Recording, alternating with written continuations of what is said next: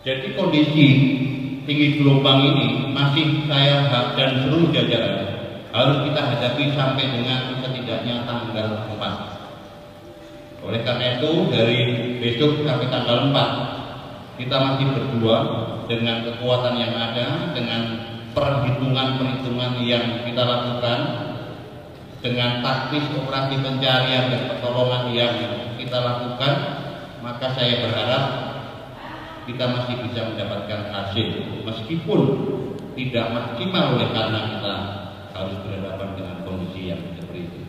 Sebagai gambaran, mengapa satu jenazah yang tadinya dua di Sudarso hanya bisa kita ambil satu? Itu pun pesawat heli kita tidak bisa mendarat di kapal itu. Sehingga jenazah saudara kita yang satu itu harus kita hoist harus kita bawa dengan tali bersama-sama dengan rescuer kita untuk naik ke helikopter.